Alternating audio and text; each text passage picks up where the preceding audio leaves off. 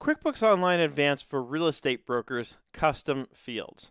This is not a video on how to do the accounting for, for uh, real estate brokers. It's a video on how to use custom fields to track some of the non-accounting data that might still make sense to track around the accounting data that you're that you have. So let's take a look at my screen. I'll show you what I'm talking about. So I'm already here on the custom fields screen. And again, this is only available in QuickBooks Online Advanced. So if you're looking for this and you don't see it, it's probably because you'll need to upgrade. If I click on the gear icon, under lists, you'll find custom fields, and that's how you get there. Now, of course, if this is your first time doing it, you won't see anything created here like I've got. So I'm going to show you how to create a new custom field, and I'll walk through you know some of the options there, and then I'm going to walk through each of these and how I set it up, the way I set it up, and why I set it up that way. Okay, so first you'll click Add Field, pretty straightforward. You'll name the field, and then you'll choose the type. Either text and number, number only, date, or drop down. The date ones are really slick because they can be used in reports, and you can create date ranges based on proximity to, uh, you know, uh, you know, to the date that's in that custom field. So very, very cool reporting you can do on this. And drop down list is a great way, for example, to track your agents and associate them with uh, you know, with anything, with a transaction, what have you. Once you've chosen a name and a data type, then you have to decide what it's going to be associated with, either a customer or in any transaction or a vendor. In the next part, you'll decide which forms it goes with. So if it's a if it's going to be with transactions, then there's a good chance you're going to want to choose some, maybe even all of these forms that you'll be able to associate that custom field with, so that when you're entering those transactions, you'll be given a drop down where you can make the choice as needed, right? Um, and so that's all there is to it, really, as far as setting up custom fields. So let's take a look at uh, the ones that I've set up and how they're set up. Right. So listing type. This is a drop down. All right. Single family home or residential lease. Right. It's one or the other. As you can see here, in any drop down list, you can have up to 100 choices. Right. So plenty of uh, room there. Notice I've associated it with a customer. I do not need this on any sales forms. This is just for me to track listings and the information about those listings in QuickBooks Online. Uh, same thing with the listing price. The difference is this is a numeric field. So in the data type, I chose number only. Right? Again, not going to appear on any forms. It's more about associating the information that I, I'd like to have associated around the listing itself the URL. So this is really just a text and number field that I created so that if I wanted to, I could drop in the URL that takes you to, let's say, the online video or the online listing, wherever it might be, um, where I can cl click out and look at the information about the listing itself. Again, just handy information to have, and as long as I'm here, it doesn't cost me any extra, might as well put it in there, right? The property description was kind of an experiment. I'll be honest, and this could change, but as of right now, the uh, the length of the text that you're allowed in a field like this is not really sufficient for property descriptions. We also have here the listing agent. Now this is a great way to track the listing agents. As you can see, I've got a few listed here. So this will become a drop down associated with a customer, but one that I do want available on certain forms, namely a sales receipt or an invoice, because those are the two forms I'm going to use to describe the listing when it's sold and how much it's sold for and so on. And that's how I can associate the, um, the this drop down so I can associate an agent with the listing and then I can run reports on that. So later on I can see you know all the year-to-date income earned for an agent or whatever the agent earned on that particular listing and so on and so forth. So that's the listing agent. MLS listing number, I set up as a number only, right? And this one I do want on the sales receipt or invoice just so that it's associated with, with that transaction, might as well. And finally, we have the license renewal date. Uh, this is a date-based field, and it's associated with a vendor because, as I mentioned earlier, an agent is going to be set up as a vendor because we have to track that for 1099 purposes.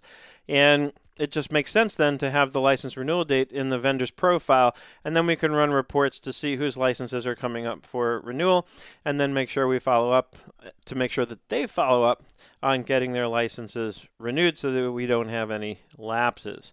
So that's, in a nutshell, how you set up the custom fields. Now let's go to reports. Okay, and I'm going to go to custom reports. I've created a couple um, to show you. So first let's go to upcoming agent license renewals. Okay, and you can see that I've got one because the renewal date is coming up. Today's date as of this recording is March 15th. The license renewal date is March 31st, right? And so that shows up. So this is upcoming license renewals, right? And the, let me show you how this is configured. So if I go to customize and in the filters, it's based on license renewal date. So this is the beauty of these custom fields is they can be accessed and used in the reports. And I mentioned earlier the date-based fields can be used with context based on proximity to a particular date. So notice this is showing me all the license renewal dates in the next four weeks. Of course, I'd probably set up another report to show me any license renewals that are in the past, right, that haven't um, or that may have gone past due, for example. And very quickly, while we're here, if, if I click on anything off of a report like this, it'll take me straight into the vendor's profile, the agent's profile, where I can edit, and you'll find the custom fields down here at the bottom. And once I once uh, Josh here confirms for me that he's renewed his license, then I can update this to next year's date on the same day. Next on the reports, we have open listings, right? And so I just put in two listings here just to give you kind of a quick example. Um, on the listing URL, I use bit.ly links because the URLs actually were too long to fit. Um, this, of course, looks like it's going to be something you can click on that'll take you to that URL. It actually won't because this is information coming from a contact-based report. Clicking anything in it, just as you saw a minute ago on the license renewal report, just takes you over to the profile of that element, in this case, that listing. Um, but again, since we have these listings and we can group things based on the custom fields such as listing agent, when I do that and click run report, now it shows me all the open listings broken down by listing agent. Okay, and there's one other thing we can do because this is theoretically, you know, it's called open listings, but actually it's going to show everything. What I may want to do is add one more custom field so that we can ensure that this report then gets filtered and only shows us listings with an open status, right? So let's go set that up. We're going to go over to our custom fields. Okay, and I'll add a field. Listing status. Okay, we'll set that up as a drop down. And simple, open or closed right? And this will get associated with a customer because that's where our listings live. Um, I don't need it on a sales form, and you can always go back and edit that piece if you need to. All right, so we have listing status. Now let's go back to my reports.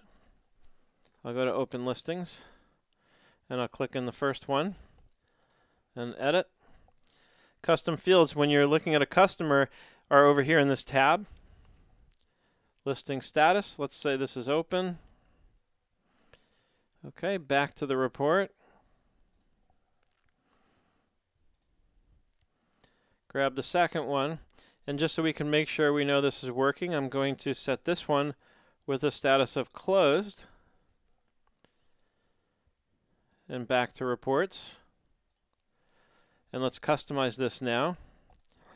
We'll create a filter based on the listing status. And this should only be open. When I run that, we should see that 10697 Soma Way will be there. The 2210 Jeffersonia Way should disappear, and sure enough, it does. And now let's go back into our sales and customers area and go back into Jeffersonia Way, edit, custom fields, change the listing status to open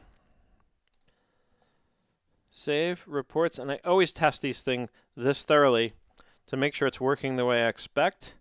Let's also change it to group it by listing agent. And I'll just customize this, uh, actually save the customization, and basically save the same report, but now next time you'll remember the groupings. The other thing you could do is create one that's not filtered by the status, but rather grouped by the status, right? So instead of grouping it by agent, I can just group it by all the open listings versus all the closed listings. So again, as you build this data out, there's lots that you can do so that you can create these kind of reports that give you a tremendous amount of really valuable information for tracking that non-accounting data that immediately surrounds the accounting data that you have with a real estate brokerage. Uh, if you have any questions or comments, concerns, I'm easy to find. Seth David, nerdenterprises.com. Uh, reach out to me with your questions. I'll be happy to answer them. as soon as I can. Thanks for watching. I hope you enjoyed this, learned something, had some fun along the way. I hope you're having an absolutely fantastic day, and I look forward to seeing you on the web.